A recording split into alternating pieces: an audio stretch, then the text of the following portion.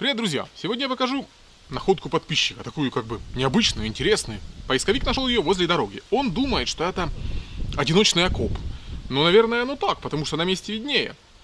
Но я вот подумал, если окоп, то какой армии? Советской армии или немецкой армии? Потому что, потому что находки есть и те, и те. А если не окоп, тогда что? И опять же, чей? Вот давайте вы посмотрите и подумаем, может это сброс, хотя целое, не знаю. Давайте вот вы посмотрите и скажете свое авторитетное мнение. Как вы думаете, это одиночный окоп, сброс или или? Цепили яму. В яме были остатки обуви, кекс, гильза вот такая, бубен от ППШ, магазин от МП, разные детали, консервы, гильзы зениточные стрелянные, ножны ушедшие от СВТ 40 или 38. Вот такие гильзы. 76 наша. 120 наверное, гильзы. И в яме показалось. Посмотрите, что. Приклад МГ. Дальше идет железяка. Сейчас будем извлекать. Посмотрим, что с него получится. Сниму, покажу. Здесь у нас добавилось вот магазин пулемета. Втулочка. Гильза латунная. Зенитки. И вот он, красавец. Без верхней крышки со стебелем. Приклад целый.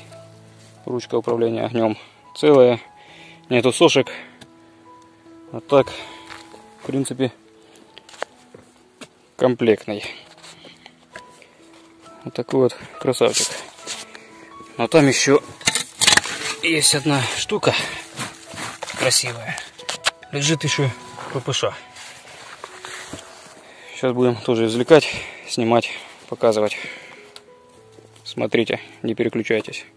Для справки, это у нас немецкий пулемет МГ-34, принят на вооружение вермахта в 1934 году и выпускался до конца войны 1942 года параллельно с пилой Гитлера МГ-42. А вы знали, что в комплекте к нему шел вот такой вот подсумок? Там мог быть еще прицел для разных модификаций и сразу три ствола и кофр. И асбестовая рукавица. Ну вот такая вот прихватка. Зачем?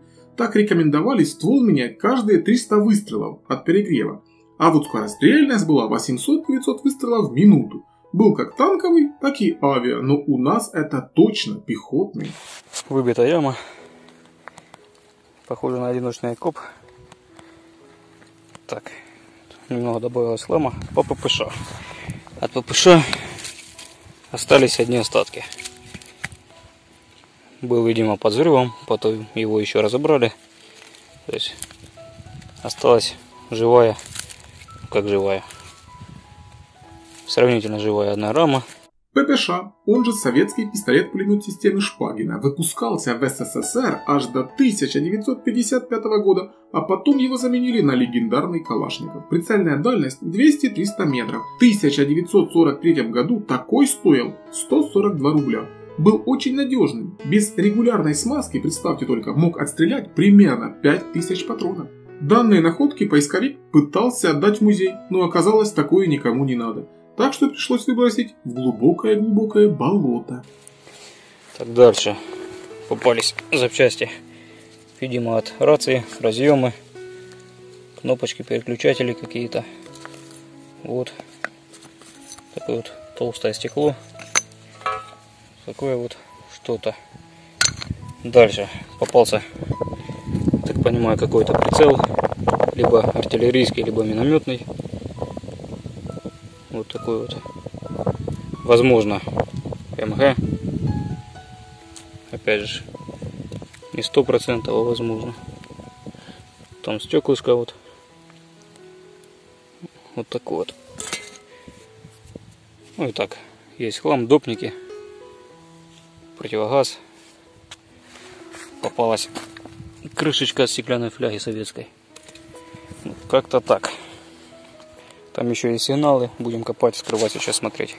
Также, если вы любите всякое такое из земли, настоящее, во всей красе, ссылку на мою группу в Facebook оставлю под видео. Мы там часто что-то находим, откапываем, делимся, обсуждаем, определяем. Так что, если вам все это интересно, ссылочка на группу Facebook под видео. Подписывайтесь, будет интересно. Да, дальше больше, будем еще копать. Говорят, Дима, заброшки будут. Угу. Ну, ближе к зиме, потому что сейчас с просмотрами не очень, а к зиме более-менее интересно. Есть у меня интересные заброшки, где бабушка ушла за хлебом. Так что подписывайтесь на канал, все нужные ссылочки под видео. Если хотите видео о своей находке, есть желание, тоже пишите что-нибудь придумаем. До встречи на канале. Пока-пока.